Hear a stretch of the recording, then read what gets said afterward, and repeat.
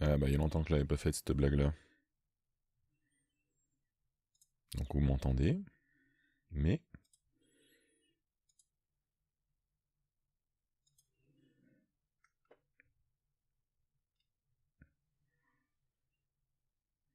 Et voilà. Shazam. Je sais qu'on me voyait pas, euh, mon très cher Gouze. Ça fait partie de mes petits essais de ce week-end. C'était caché. de toute façon, euh, ça va être 36-15 My Life aujourd'hui, je vous préviens. On va parler de mon week-end. Coucou euh, Scrally. Ah, c'est gouzes. oui, j'espère que ce week-end a été sympathique pour vous. Moi, le temps était pas top top. J'aurais préféré un peu meilleur, mais euh, j'ai pas encore hack un Minitel. Donc, si vous l'avez pas vu, ça c'est la dernière, euh, le dernier projet, enfin un des derniers projets de Monsieur Goose qui est parti en flamme dans ses projets open source et open hardware. Il nous a fait un hack d'un Minitel avec un ESP.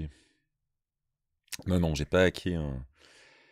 J'ai pas hacké un un Minitel. Bah, on va commencer par ça, on va y aller à la cool. De toute façon, aujourd'hui, euh, justement, je sais plus. Tac.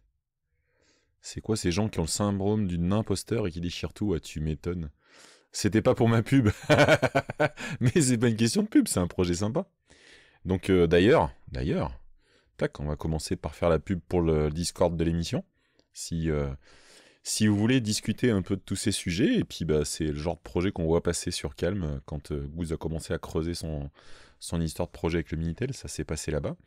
Et accessoirement, ce week-end, d'ailleurs on va voir si ça fonctionne tout de suite, comme ça on sera fixé. Yes, j'ai reparamétré un petit peu certaines vues de mon OBS et j'ai utilisé la caméra virtuelle qu'on peut générer à partir d'OBS. Euh, pour euh, en fait euh, ben, montrer un petit peu là où j'en étais de là c'est mon petit coffre qui va venir avec moi à Devox donc on avait parlé je crois qu'il y avait B-Box qui est passé ça m'a permis de de tester donc cette caméra virtuelle et au passage voilà c'est ça qu'il fallait que je vous, je vous partage euh, j'espère que je l'ai pas paumé tac tac tac J'aime bien faire les choses dans l'ordre et dans le désordre, à l'endroit et à l'envers, comme dirait l'autre. Euh, je vous refais la recherche parce que je vais la retrouver vite fait. OBS. J'ai eu un souci avec cette caméra virtuelle.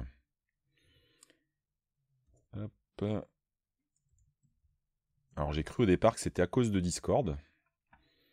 Alors c'est en partie à cause de Discord, hein. il n'est pas complètement innocent. Mais ça n'est pas que à cause de Discord. Tac. Voilà.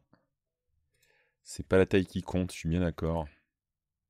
Je vais vous dire pourquoi j'ai fait ça. Donc je vous mets le, petit lien et puis bah, vite fait je vous le partage, je vous, montre un peu de quoi ça parle, mais voilà, c'est un peu toute la blague.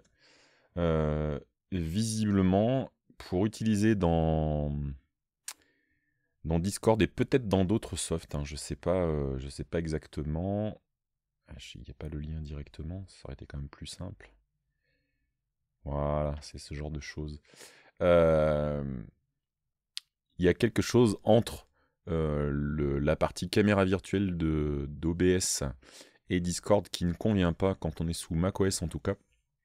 C'est qu'il y a un problème de, une signature qui convient pas dans, Discord et qui, fait planter la partie plugin d'OBS euh, qui gère la, caméra virtuelle. Et il s'agit juste en fait de, retirer la, la, signature avec l'outil euh, CodeSign. C'est les lignes de commande que vous voyez là. Et puis vous re-signez, on s'en fout, la signature elle n'a pas besoin d'être super... Euh, c'est pas très important, en tout cas sur ma machine ça l'était pas.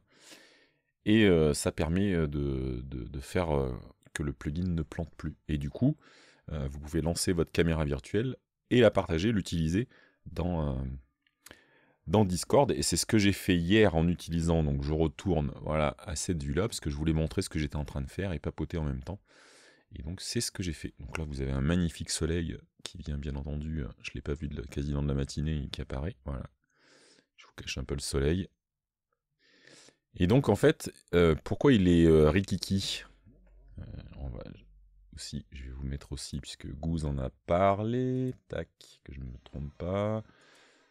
Donc là, vous devez en avoir plein les oreilles en même temps. Je ferai comme si je m'excuserais plus tard. Voilà, toc.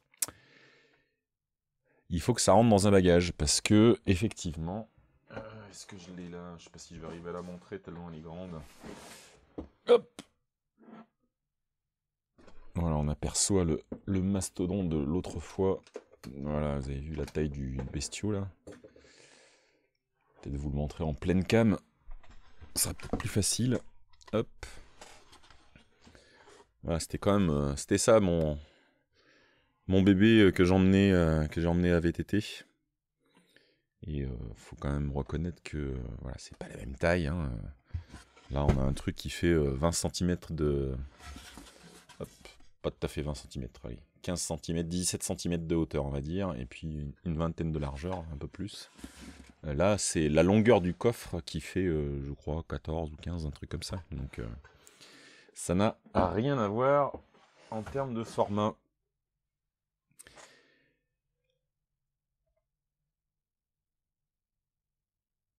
J'imaginais plus 15 cm que 5 cm, mais tout à fait.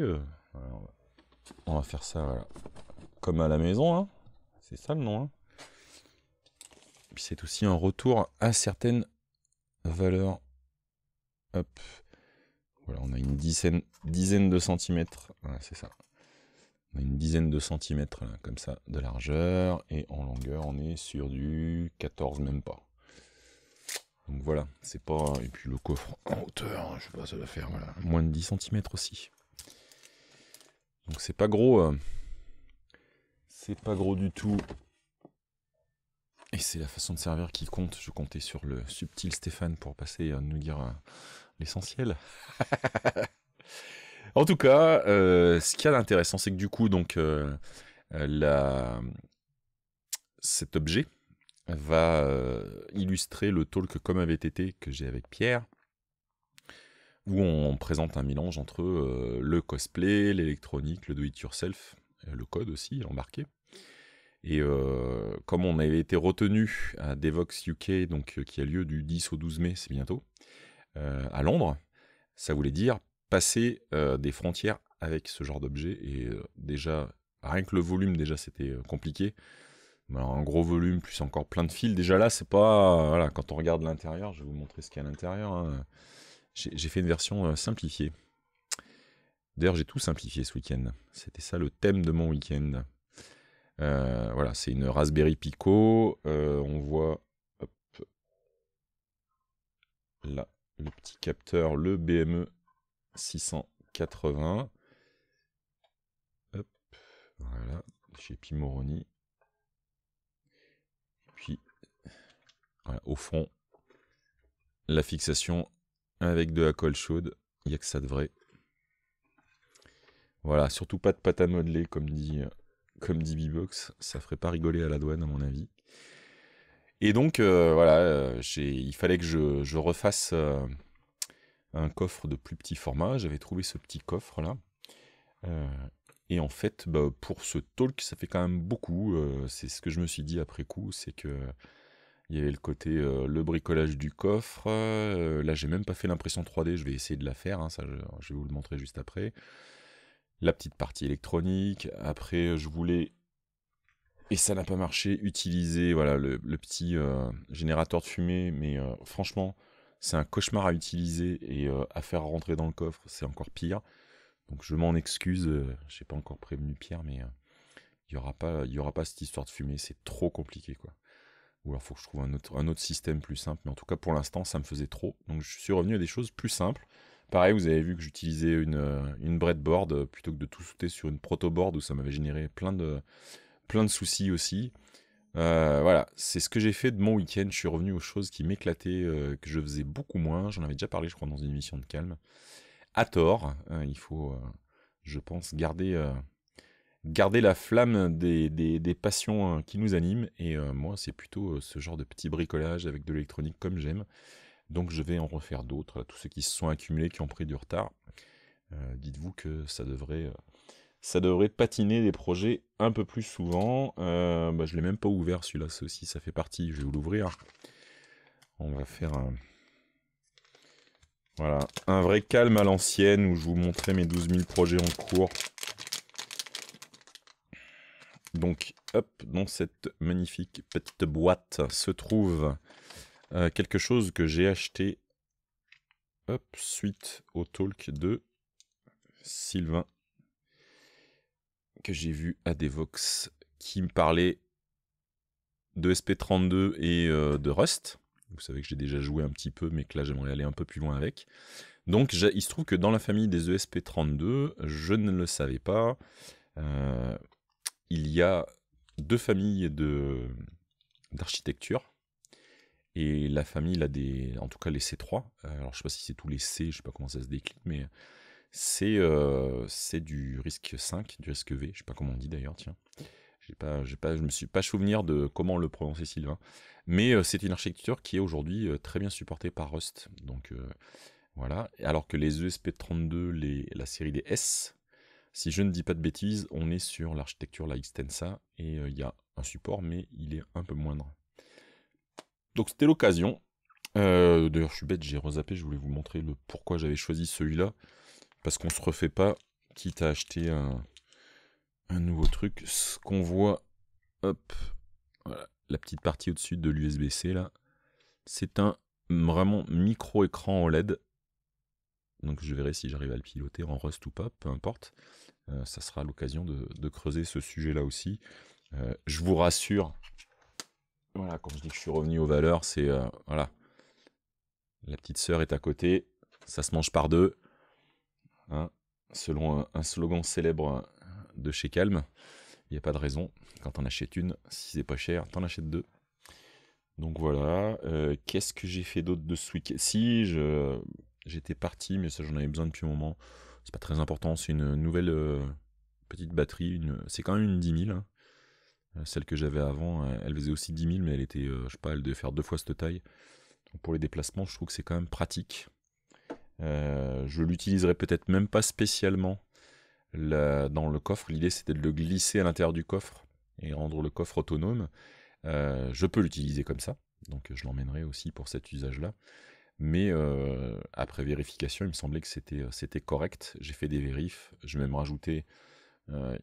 là, on le voit pas, mais j'en ai une, cinquième en secours de, petites. alors ça, c'est des néopixels euh, c'est pardon des NeoPixel Jewel de chez Adafruit, où c'est 7, euh, 7 euh, NeoPixels avec juste la partie driver qu'il faut.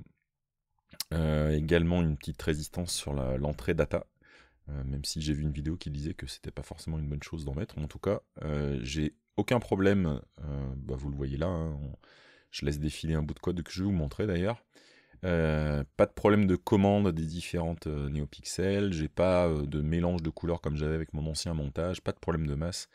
C'était aussi mon idée hein, quand j'ai acheté ces néopixels d'avoir moins le phénomène sur, le, sur la bande là que j'avais soudé, c'était vraiment trop petit, c'était trop complexe. Donc là, bah, je me suis passé un peu de temps à faire de la soudure comme j'aime, j'adore ça. Un petit coup de pistolet à colle pour faire le montage comme j'aime. Euh, je vais vous montrer le bout de code et puis je vous montrerai aussi euh, après, je voulais vous montrer la partie que je voudrais modéliser. Hop. Le classique, le Tony, en sachant que je ne sais plus... Non, ça marche pas comme ça. Euh, comment j'avais fait l'autre fois Parce que là, c'est quand même pas très gros. Je sais plus si Tony, il a un zoom ou si je suis allé modifier. Je vais peut-être modifier la... Je crois que j'ai modifié la taille de la police la dernière fois. Thème et fonte, je crois que c'est ce que j'avais fait. Si je passe sur du 20, c'est pas assez pour que vous voyez. Ah, ça commence à être pas mal. Vous n'êtes pas aveugle. Hop. Allez, je vais tout foutre en 24. Toc. Donc là, ça devrait être à peu près visible. Hop. Euh, je sais pas si c'est nécessaire que je vous garde ça dessous. Non, on le fera pas comme ça. Je vais juste... Euh, je suis sur le bon port USB. On va juste réveiller hop, un petit start, restart du backend. Donc la, carte que j'ai mis à l'intérieur, c'est une, euh, Pico euh, W. Alors je vois Goose qui doit me charrier sur quelque chose. Ça va Benjamin Castaldi, comme j'aime. La sponsor du jour. Alors sache que Benjamin Castaldi, d'abord il fait pas partie des gens que j'apprécie spécialement, et surtout, je crois pas avoir suivi quoi que ce soit avec lui, à part quand il animait euh, je sais plus quelle télé-réalité, parce qu'à l'époque euh, je bossais sur la partie SMS euh, qui recevait les SMS. Donc c'est là où j'ai dû voir sa tête, mais après, donc je sais pas, s'il a un tic avec comme j'aime, eh ben je l'emmerde, c'est mon tic à moi. Donc dans le montage, ah il fait une pub à la... alors là s'il fait la pub de comme j'aime là c'est mort là. Tu me parles de pub, de trucs de régime. Là c'est foutu. Tu me parles de télé, de pub à la télé, de Benjamin Castaldi et d'un truc de régime. Il y a aucune chance que mes yeux et mon cerveau aient pu absorber ça. Zéro chance, garantie. Donc dans mon petit coffre, j'ai mis une Raspberry Pico. Euh, c'est la, carte que j'aime beaucoup en ce moment avec les ESP32, mais euh, J'aime bien la, Pico et notamment la Pico W qui est pas chère aussi euh, pour pas mal de, choses. Euh, et surtout, elle est, euh, je trouve, jusqu'à présent bien supportée avec MicroPython, circuit Python, avec l'IDE Arduino aussi. D'ailleurs, il faut que j'envoie le lien à, Pierre que je lui ai promis ce week-end, vilain que je suis. et aussi, il y a aussi un support Rust. Donc, c'est vraiment la carte aujourd'hui qui a le plus de support multilangage. Donc je lui ai collé évidemment un petit euh, circuit de Python dedans. Le code que vous voyez actuellement, euh, enfin que vous voyez, euh, si je vous remontre voilà, ce qui se passe là, le défilé. Hop. Le code c'est celui-là. J'ai l'impression que Tony, j'ai quelques problèmes avec Tony, je sais pas vous. ça me le refait comme l'autre jour. la... Hum, ouais, c'est ça. La gestion des fenêtres dans Tony, eh ben, c'est quelque chose. Hein. Euh, j'ai eu en direct avec B-Box, euh, j'étais en train de faire une manip dans le, dans le qui a l'air de marcher, tant mieux. Euh, et je me suis retrouvé avec un bruit de buzzer sur le MacBook. Donc, je sais pas ce qu'ils font. Alors, l'audio était sur le, MacBook, hein. c'est juste ça, ça balançait du son sur la sortie son. Et vous voyez là par exemple, j'ai plus la. Bon, c'est pas très grave. Je vais le clore et le réouvrir, mais je l'ai peut-être pas mis à jour récemment.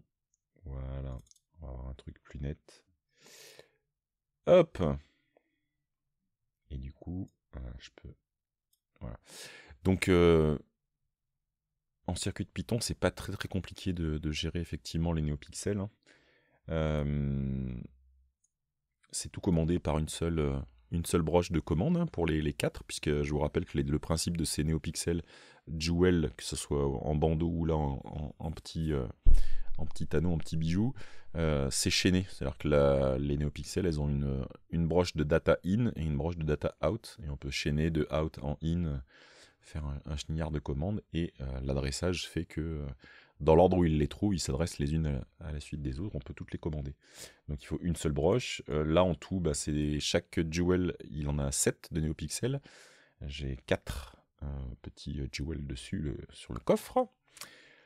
Et puis ben, on a une librairie euh, NeoPixel à qui on indique euh, la broche qu'on utilise, le nombre de pixels qu'il faut y trouver, la brightness, même si on peut la régler en dehors. D'ailleurs je crois que je vais la mettre un peu moins fort parce que que ce soit pour le talk ou même là, j'ai souvent une caméra et c'est pas la peine d'être aussi fort. C'est pour ça que je vais aussi imprimer quelque chose par-dessus pour que ça fasse effet de diffusion un petit peu.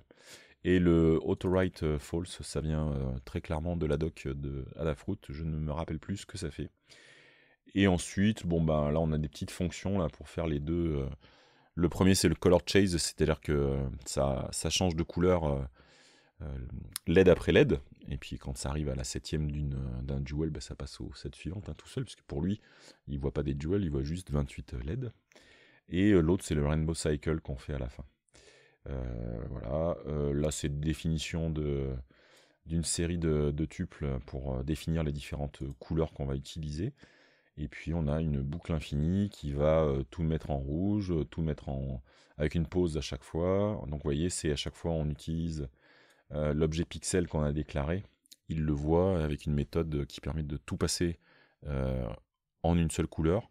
Mais il faut savoir que, je vais vous le mettre dans le REPL, euh, si je fais un pixels, est-ce qu'il le connaît là? Non, il faut tout que je le redéfinisse dedans avant. Donc on va faire comme ça. Hop. On va profiter du REPL pour faire un essai ou deux, je vous montre ça. Hop. Voilà. Comme ça, on a tout défini. Et donc, si je fais euh, pixels, vous voyez qu'il me répond. C'est à la base, c'est un, tableau qui va contenir les valeurs euh, sur euh, chacun des chacun des. Donc là, en théorie, ils sont tous à zéro, tous en, noir, tous éteints en fait. et à chaque fois qu'on change la valeur, il faut derrière appliquer ces changements avec un pixel show. Donc juste, je vous montre rapidement. Voilà, ils sont tous éteints maintenant. Voilà. Hop. Si euh, je j'utilise ce que j'ai là dans le code, c'est-à-dire la méthode fill, euh, et que je vais mettre tout en rouge, on fait pareil. On refait appel à la méthode show. Alors attendez, je vais basculer. Voilà, c'est éteint. Là, je vais appuyer sur la touche entrée. Voilà. Ça met l'état des LED d'un coup, ça envoie la commande. Donc euh, on peut on peut piloter donc avec la méthode fill toutes les LED. Et ce que je voulais vous montrer, c'est qu'en fait, euh, si j'ai envie, je peux. Alors là, comme je suis en REPL, c'est pas dit que ça marche du premier coup correctement. Ah bah j'ai pas défini black. Hop, c'est pas grave. On le définit. Voilà, je positionne. Et si je retourne ici, je sais plus où est la 0, bah elle est au centre. Ouais, je sais pas si vous avez bien on la voit là au centre, là, elle est éteinte. Donc on peut vraiment manipuler euh, euh, LED par LED, euh, par groupe de 7. je pense que je ferai ça aussi. Je ferai des méthodes qui me permettent de manipuler donc, les indices 0 à, 6 pour la première et ainsi de suite pour piloter et puis faire des peut-être des affichages un petit peu sympas de réagir à certaines choses. Donc voilà, ça c'était pour vous montrer la partie, la partie NeoPixel. Et euh, ce dont je voulais parler aussi, c'est que euh, je me suis retrouvé à... Alors, deux choses. Euh, pour piloter le capteur, là, le capteur BME, c'est un capteur qui fait, j'en avais déjà parlé, température, pression, humidité et alors je sais pas, ils appellent ça un capteur gaz, mais je pense c'est un capteur de particules il, est censé retourner des valeurs de, ce capteur. Euh, pour simplifier l'usage de ce capteur, c'est euh, à utiliser avec le, le protocole I2C, I2C en français, et euh, ce qui est un protocole qui est censé permettre d'adresser un objet un peu complexe. une espèce de, je sais pas comment on peut dire, c'est une forme de protocole de communication, un, port de communication donné. On a souvent le I2C ou le SPI suivant ce qu'on fait. Et, et bien normalement, on a un objet en circuit de Python euh, qui est porté par euh, les objets board. Et donc on a un board point euh, i2c, qui est une méthode qui permet d'avoir une instance qui correspond à un port donné de ce type-là. Le souci qu'il y a avec l'implémentation actuelle, en tout cas, de... Si je fais dire board, ça va décrire l'objet. Euh, je ne sais pas si vous connaissez un petit peu cette méthode. C'est une méthode Python qui permet de décrire euh, s'il y a sur un, objet donné. Donc là, comme vous pouvez le voir, alors, je ne sais plus où elle est, la fenêtre, zut, c'est ça que j'ai oublié. Voilà. Si vous cliquez sur la, vous voyez, j'ai fait dire board, ça m'a affiché euh, trois lignes avec les GPIO et tout ça. Je clique dessus et ça ouvre d'Anthony une fenêtre sur la droite que malheureusement là je ne sais pas comment faire pour agrandir les caractères, mais peu importe ça vous donne euh, de manière euh, un Object Inspector, ça vous donne euh, plus de détails sur ce qu'il y a à l'intérieur. Je ne sais pas si on peut le. c'est marrant cet Object Inspector, je ne sais pas comment il fonctionne. En tout cas, ça fonctionne avec ça, donc c'est pratique. Et comme vous le voyez, il y a en fait la, définition de toutes les broches, les GP, GP 01, et ainsi de suite. vous avez la LED qui est la LED onboard. Euh, bah, je viens de voir qu'il y a un stemma I2C. Euh, c'est peut-être ça qu'il faudrait que je regarde, je suis bête. En tout cas, par rapport à la doc, la doc indiquait que ça fonctionnait comme toutes les autres cartes. Il y aurait dû avoir un I2C et ça n'était pas le cas. Mais ce n'est pas grave. Il suffit d'utiliser, comme vous voyez là, le package euh, BusyIO, qui lui est porteur d'une définition d'un objet I2C sur lequel il suffit de lui indiquer euh, les, deux, euh, les deux broches dont il a besoin, puisqu'il y a les broches SDA, SD, SCL. en gros, c'est la data et la clock à la vitesse où vous allez envoyer les données. Et pour synchroniser. Et ça permet de créer cet objet I2C. Et derrière, on retombe sur la librairie BME 680 qui, elle, a besoin d'une connexion I2C. Donc ça, c'était le premier obstacle. donc je ne sais pas pourquoi, parce que dans les docs, des docs Adafruit, sur le site Adafruit, sur la Raspberry Pico, en circuit Python, l'exemple indiquait qu'on pouvait faire directement board.i2c, ce qui n'est pas le cas. Donc je vais poser la question sur le Discord, il doit y avoir une raison au changement. S'il y a une vraie raison à ce changement, bah, ça serait peut-être pas mal de, le reporter dans la doc. en tout cas, voilà, c'était le cas ici. Et le deuxième petit obstacle, hein, rien de grave, c'est que la librairie BME 680, comme beaucoup de librairies, alors que ce soit en circuit Python ou même en Python, quand vous avez des paramètres, vous pouvez décider qu'il y a un certain nombre de paramètres qui ont des valeurs par défaut. Et par défaut, il se trouve que ben, la librairie écrite par Adafruit, quand on a un capteur BME 680 en I2C, les produits Adafruit positionnent par défaut comme adresse, parce qu'il faut une adresse. Le protocole I2C permet de chaîner en fait des, des, capteurs sur une ligne qui, sera sur le, même broche. il y a donc un, système d'adressage et l'adresse par défaut c'est en hexa donc c'est 0x77. Donc normalement il n'y a pas le paramètre qu'il a fallu que je retrouve ici qui permet de dire que comme j'utilise un capteur de chez Pimroni, lui il a une valeur par défaut 0x76. Et Aurélie elle dit pour moi c'est du chinois. Eh ben, euh, je sais pas si tu as le temps, euh, c'est la demi, on a encore un peu le temps. Pose euh, les questions que tu veux. L'exemple en question, je peux vraiment le décortiquer, parce qu'il n'y a pas trop de choses dedans. On va repartir du départ-départ, à savoir ici. Tu as donc la carte, hop, je vais tourner. C'est pas très pratique, mais on va faire comme ça. Voilà. Vous avez la carte, la Raspberry Pico. Et, ah, tu vois le petit élément ici, VME 680. C'est juste un capteur qui est capable de retourner euh, température, humidité, pression et euh, on va dire euh, une qualité de particules de gaz dans l'air, quelque chose comme ça. Donc là, il y a quatre. on voit peut-être pas très bien, c'est pas commode là. moi je bouge dans les mauvais sens là. On voit qu'il y a quatre fils.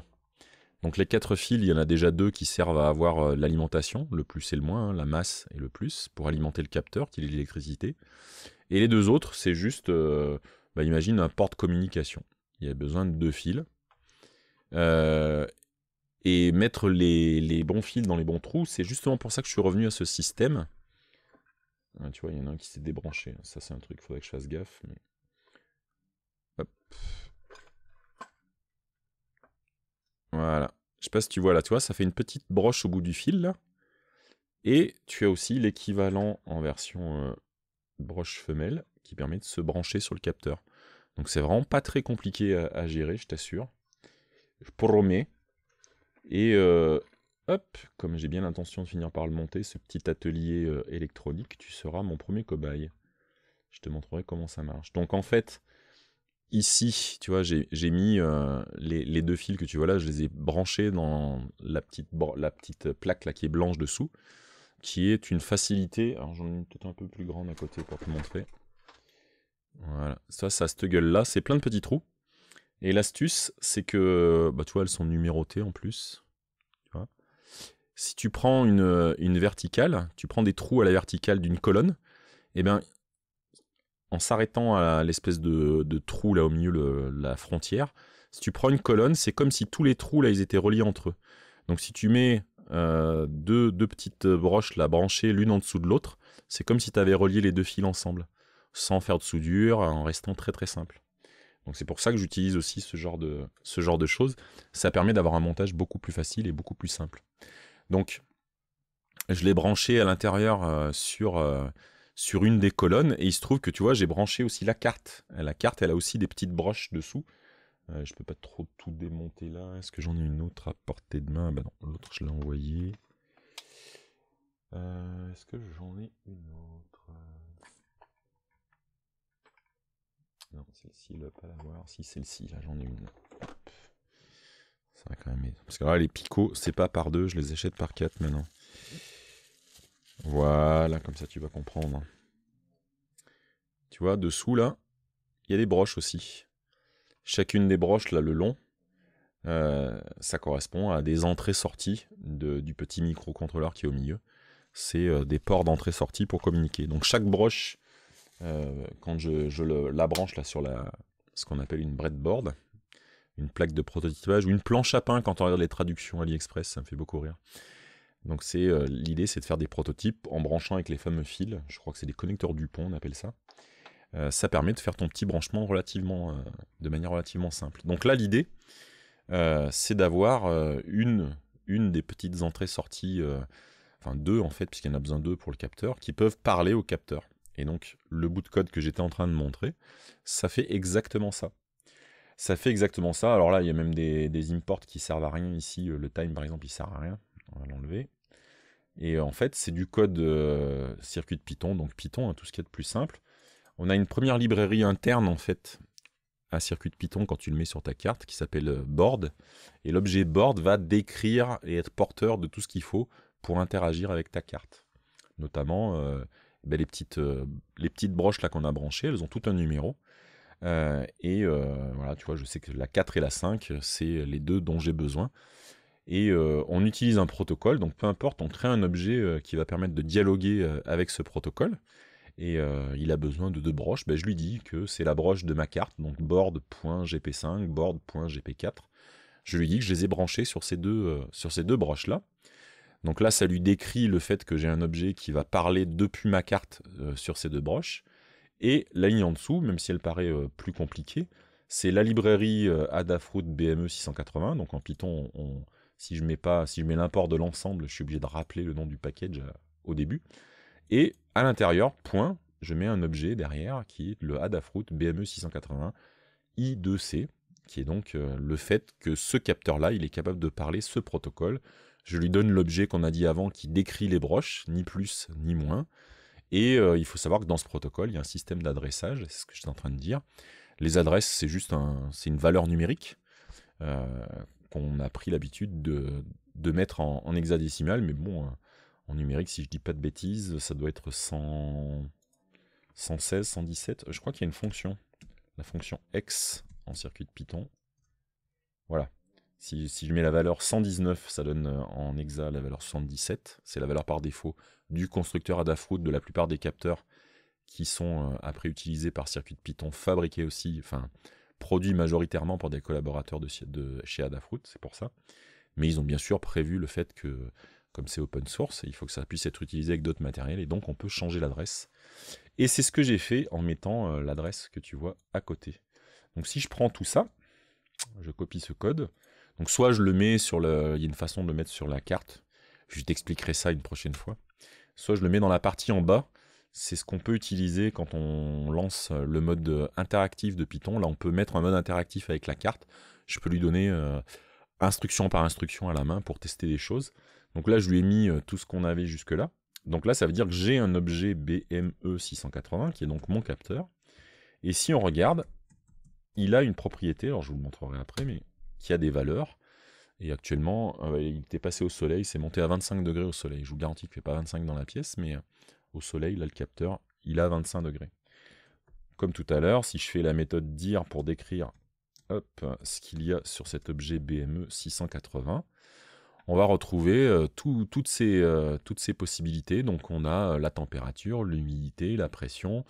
on a une possibilité d'avoir l'altitude, mais il faut le calibrer. ce qu'il appelle gaz, c'est une... je peux vous montrer ce qu'il a dedans. Hein. C'est une valeur numérique, je ne sais pas ce que ça représente exactement. Voilà, 2038, bon, certes. L'idée, c'est de, de l'utiliser à répétition pour avoir une variation de, en fait des particules qu'il y aurait dans l'atmosphère en fait. Euh, qu'est-ce que j'ai d'autre? Après, il y a des valeurs là, quand il y a le petit underscore devant, c'est euh, normalement des, valeurs privées que tu manipules pas directement, mais elles apparaissent quand même ici. Euh, je pense que. Ouais, on a, moyen d'étalonner un petit peu aussi le, capteur. Il y a des méthodes pour l'étalonner. Et justement, alors pour la température, c'est pas très grave, mais pour le gaz, pour que ça fonctionne bien, c'est un capteur au niveau, au niveau électronique. Il y a une petite partie, je crois, chimique hein, à l'intérieur. Et donc, il faut le laisser tourner pour que, en gros, il se, il se rôde comme un moteur à l'ancienne, en fait, quand on rodait les moteurs. Il y, a, une période de rodage le capteur, donc je l'ai fait déjà tourner un petit peu pour qu'il soit stabilisé en fait, qu'il retourne des valeurs plus régulières.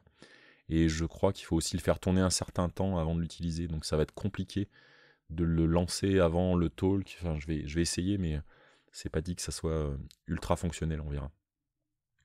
On verra comment on s'en sort. Donc voilà, petite initiation circuit de Python, mais on, pourra, euh, on pourra faire ça à l'occasion euh, en détail si ça t'intéresse, avec grand plaisir. Et puis, ce serait peut-être temps que je reprenne un peu les vidéos posées, comme dit Stéphane, sur ce sujet également. voilà, bah, je vous ai fait le tour de, ouais, de, des projets là que j'ai fait ce week-end avec bah, ouais, la grande idée de revenir à, faire un petit peu plus de projets concrets parce que je vous ah bah, j'ai un insecte qui se balade, vous devez le voir passer, je sais pas d'où il sort. Euh, ouais, j'avais un peu, un petit peu perdu le plaisir de, du concret. Et si, il y avait un dernier truc que je voulais vous montrer, mais comme je suis pas allé jusqu'au bout encore, ça va pas être ultra brillant. Euh, juste pour l'évoquer avec vous, euh, par-dessus ici à ce niveau-là, là, sur chacune des, des jewels, je voudrais remontrer. je ne sais pas si vous vous rappelez, je ne vais pas le ressortir. Sur le coffret, il y avait des espèces de. comme des espèces de pyramides tronquées sur le dessus avec des symboles euh, pour faire l'ex-core d'Arkane. Donc là, je vais essayer de le refaire, mais j'avais, euh, j'ai plus l'outil que j'utilisais pour modéliser, en sachant que pour la boîte, j'avais pris des modèles existants qui étaient malheureusement vachement épais. Il a fallu que je les retravaille. Là, j'aimerais vraiment une pyramide, euh, mais au sens euh, creux, en fait, juste qui est les parois d'une pyramide. Donc j'ai ressorti euh, Tinkercad à la suggestion de JP sur le, forum. Et là, je ne sais pas si on aperçoit, mais en fait, j'ai deux éléments. J'ai un élément solide là qui est jaune. On va peut-être mieux comme ça. Et un élément qui est un élément aussi une pyramide plus petite qui permet de d'enlever de la matière à la matière que j'avais déjà. C'est un peu le même principe que j'ai utilisé là pour la partie tronquée. On fait une pyramide et on dessine, euh, là j'ai mis un cube parce que je voulais tronquer la partie supérieure et ça fera une zone plate. Euh, le souci avec Tinkercad, c'est que soit je fais comme là un solide et à l'intérieur un élément plus petit qui va représenter ce qu'on enlève comme matière, donc j'ai ma pyramide creuse.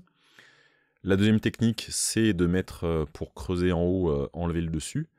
Mais si je veux cumuler, c'est-à-dire que je veux faire une pyramide creuse et tronquée, pour l'instant, j'ai pas trouvé. Parce que euh, eh ben, on ne peut pas faire un rendu intermédiaire de l'objet pour après le mettre à l'intérieur. Donc si je mets la petite pyramide dans la grande pyramide, ça va certes enlever la matière à l'intérieur, mais euh, si euh, j'ai ces deux éléments-là qui restent, quand je vais déplacer, ça va me tronquer au plus bas, ça va me faire un trou, ça marche pas. Et Goose qui nous dit les CSG. Les CSG, je sais pas de quoi tu parles, pardon.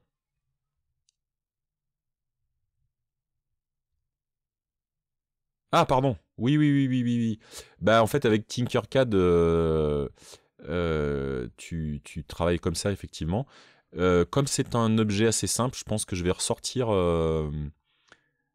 OpenSCAD, puisque là, j'ai une forme purement géométrique. Et je vais décrire deux pyramides pile poil comme je veux, et je pense que ça sera aussi simple. Euh, je crois que ça sera. Et encore de la pub. oui, oui, oui, oui. En plus de faire ça, mais on en reparlera, euh, euh, de ton. Il nous a fait un outil un peu à l'arrivée le JS, mais en plus léger, qui permet de, de préparer ses slides et d'utiliser ces slides pendant un talk en les codant en fait en, JS et en HTML. Mais à l'occasion, je le présenterai, je l'essayerai puis je le présenterai. Donc voilà, c'était mon, dernier truc que je voulais vous montrer, c'est cette histoire de pyramide euh, qui va peut-être se finir. Euh, non, je sais que tu parlais pas de Talkflow, mais moi je parlais de Talkflow pour parler de tous tes projets que tu as. le talk, c'est euh, un talk sur, oui, oui, sur Cody et sur bah, qui utilise Babylone. Donc voilà, il faudra que je modélise ces fameuses pyramides. Peut-être que j'aurai un peu de temps cet après-midi. Je vais essayer de, de pas me bouffer le peu de soirée qui me reste, euh, parce que, bah, micro news, hein, puisqu'on est 36-15 My Live depuis tout à l'heure, il n'y aura pas d'émission euh, lundi prochain euh, avec ma chérie. On part en vacances en Crète. Voilà, on n'est jamais allé en Crète. On va se ressourcer en ce début de, printemps et de petits rayons de soleil. On va aller se recharger un peu. On ira se balader, je pense, sur les côtes de Crète et faire quelques petites randonnées sympas. Et se reposer un peu, ce qui sera pas volé, je pense. Donc il n'y aura pas d'émission la semaine prochaine, mais vous inquiétez pas, on en refera dès mon retour puisque tout ce que j'ai fait là, il va bien falloir que ça aille jusqu'au bout. Donc je vous présenterai, j'espère que j'aurai fini la modélisation, que j'aurai imprimé tout ça. Je vous tiendrai au courant. Euh, je vous le redis, c'est pas pour faire de la pub, ça ne rapporte pas d'argent. Venez euh, nous rejoindre sur le Discord. Euh, ça permettra de discuter de tout ça. Et plutôt que de casser les pieds à tout Twitch pour 3 minutes quand je lance un live, des fois maintenant, vu que la cam virtuelle marche, je mettrai dans Discord, je ferai des sessions vidéo un peu de temps en temps. Quand je suis en train de bricoler un truc en mode un peu comment tu dis, Goose? En mode open space, voilà. Quand tu fais l'open space sur un mot à production. Et eh ben, je ferai pareil de temps en temps quand j'aurai un petit bricolage. Je vous partagerai ça. Si vous êtes curieux, rejoignez le Discord. Vous pourrez participer à ça aussi. Sur ce, euh, eh ben, le temps d'un petit café, d'une petite pause, on va retourner au boulot. Euh, je vous souhaite une excellente journée, puis une excellente semaine dans la foulée. Euh, je vous dis pas d'être sage parce qu'il faut jamais être sage. Faites bien plein de folie pendant toute cette semaine. Et puis, ben, à très bientôt tout le monde. Merci, salut.